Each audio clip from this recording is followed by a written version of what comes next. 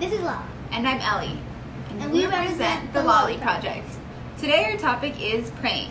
Lala, can you tell us what praying is? Praying is having a conversation with God through Jesus. She's 100% correct. Did you know we can communicate with God through Jesus? This is why when we end our prayers, we say, In Jesus' name we pray.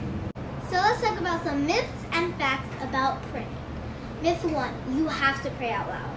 Wrong. Fact number one you can pray out loud or in your mind. Ideally, you want to pray by yourself. Remember, this is a conversation you're having between you and God. Myth two, you can only pray at church. Wrong. You can pray anywhere at church, at home, while you're running, while you're in the shower, while you're driving. You can pray anywhere, not just at church.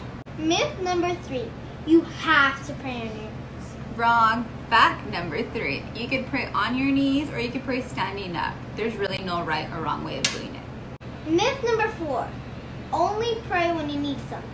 Wrong. Fact number four pray when life is good, pray when life is bad, pray when you're thankful about something, pray when you're asking Him for something. Just pray as much as you can. Prayer is powerful.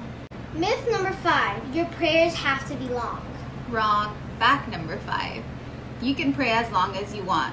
This is, again, this is a time between you and God, and nobody is timing it. Okay, guys, we hope you learned something today about praying. Yes, and we encourage all of you guys to pray. And if you've never prayed in your life, we challenge you that after this video, you pray for the first time. With that said, let's end our Laly Project video with a prayer. Lala, can you pray for us? Sure. Dear God, thank you for giving us Jesus so that way we can talk to you we pray that people start praying if they haven't prayed before. In Jesus' name, amen. amen.